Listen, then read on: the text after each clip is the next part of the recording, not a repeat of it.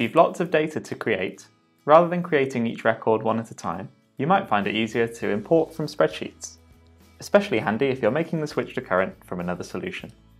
Before you begin, it's a great idea to create a few products or organisations in our web interface, along with any associated data, like stock levels or contacts. This will give you an idea of the kind of fields available and a feel for how data is stored in general in Current. When you've done that, head to System Setup, Export Data, and export the types of data that you just created. The exported CSV files act as ready-to-go templates that you can now add new records to. Just add new data as rows to the spreadsheet. To import, work methodically through each type of data.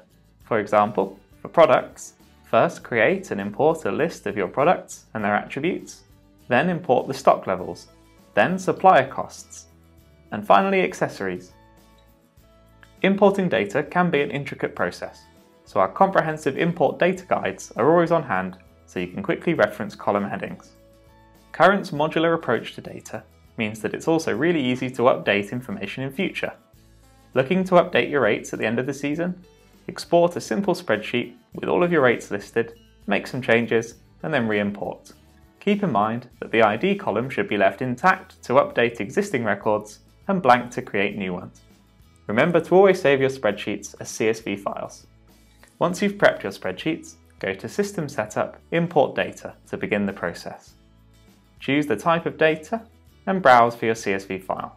Columns on your spreadsheet that match fields in current RMS are automatically mapped for you, turning green.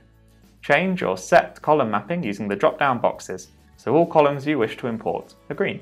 Once an import has been uploaded, Current RMS will let you know the status straight away or send you an email to let you know the status of the import.